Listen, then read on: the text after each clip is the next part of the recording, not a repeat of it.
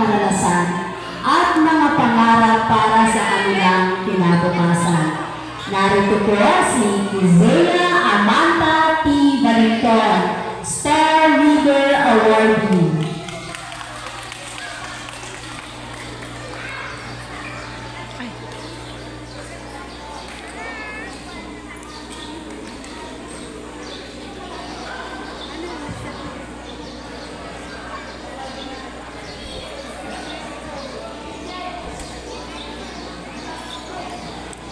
Una po sa lahat, maraming salamat sa Panginoong Diyos na nagbigay sa amin ng iba't ibang karanasan sa kindergarten upang lalo kami maging matatag sa hamon buhay.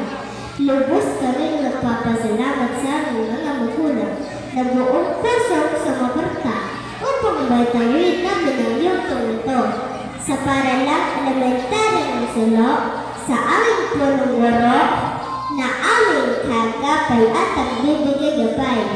Sa aming kaklaseng nakasama sa hirap at tagumpay sa loob ng silid-aralan at higit sa lahat sa aming mga guro na may pagmamahal at pasensya sa pagtuturo sa amin lalo na kay Ma'am Cecil A. Breton.